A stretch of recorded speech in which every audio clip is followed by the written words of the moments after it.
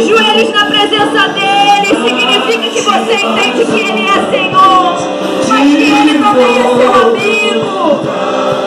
Essa manhã ele tem coisas novas para você. Ele tem coisas novas, novas, novas. Perdão, Senhor. Novas, novas, novas.